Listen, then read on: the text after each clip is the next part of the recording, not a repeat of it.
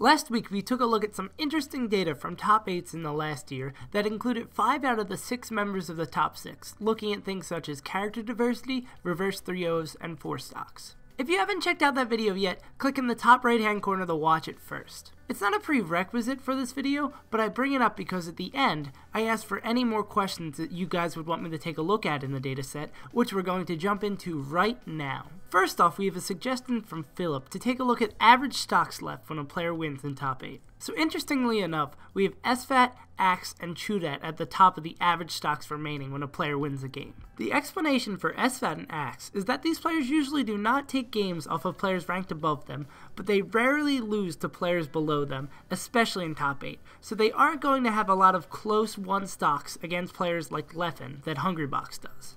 Chudat is also slightly affected, but his high rank mainly has to do with the nature of Ice Climbers in the metagame, where Icies players often either get completely blown out by a player who understands the matchup, or they run over a player who doesn't completely understand how to beat Icies. A better metric to look at that gives us more useful information is average stocks remaining in both wins and losses. This metric gives us a rough idea of how often a player will handedly win a set in top 8, so it shouldn't surprise anyone seeing Hungrybox and Armada at the top of the list. Plup and Mew2King being so far down on the list is a bit harder to explain, however.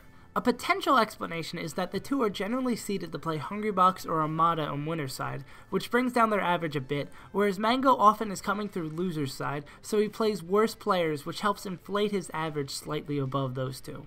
We can also see a lot of players who are commonly seen in top 8s alongside the top 6, like SFAT, Axe, and Wizzy, all with about the same average stocks remaining. The fact that Chudat's high placement on the ranking carries over on this chart is interesting as well, and it's actually a single game that's causing it. The game in reference is his 4 stock over Mew2King, which, when removed from the dataset, jumps him all the way down to third worst and helps Mew2King's average stocks remaining a bit. This single game weighs on Chu so much because it's a huge outlier from a typical game for him, and because he's only played 25 total games in top 8. This amount of games may seem fairly small, but it puts him on about the same tier as other players around his current skill level. Next up we have a question from SSBM Kumi asking about player diversity in Grand Finals.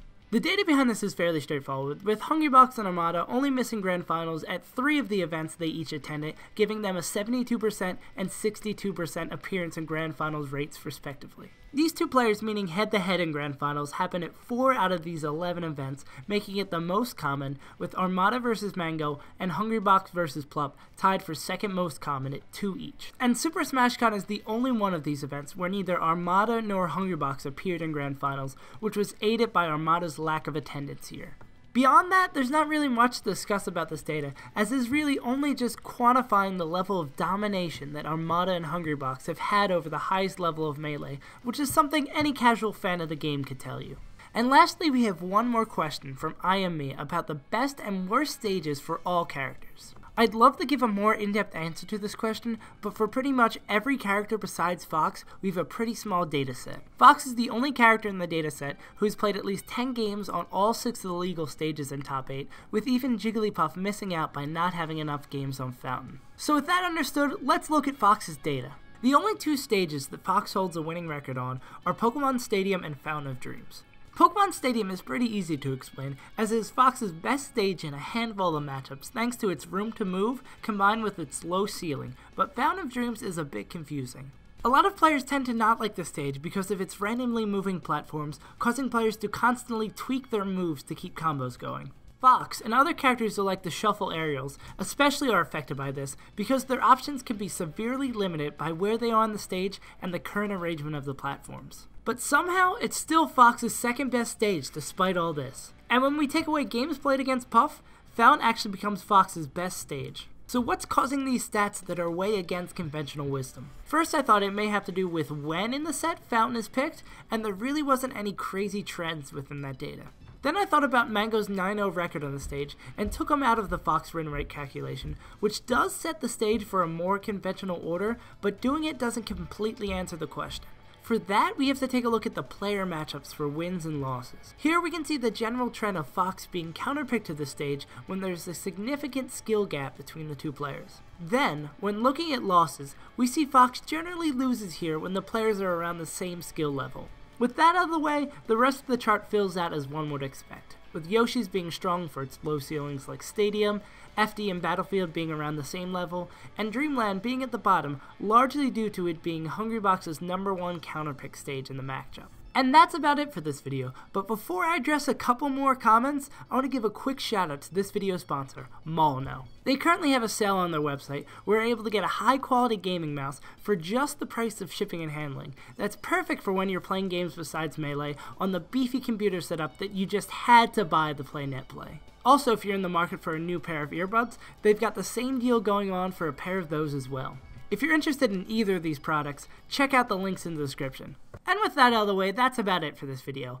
You've heard me plug all my websites a hundred times, so I'm not going to go over my Twitter, my Twitch, my Patreon. If you want to check that out and you're interested, check out the links in the description below. But let me talk about Patreon for a little bit more because I haven't done it in a while. I really want to thank my uh, three Patreon subscribers, Nick Fade and Nathan Simon, for being around for five months. That's so amazing. I never thought when I started this I would have. Well, I didn't think I'd have anyone supporting me on Patreon, but having someone stick around for five months, I really appreciate it. I know I don't know if you have anything that I could promote for you, Nathan, but I know Nick streams a lot. Nick streams a whole lot. So if you're interested in a very consistent melee streamer, look up Nick Fade on Twitch and you'll you'll see him out. And also, I'd love to give a thanks to Daniel Gilbert, the newest addition to the Patreon squad. He just came in last month, and I'm really glad to have you.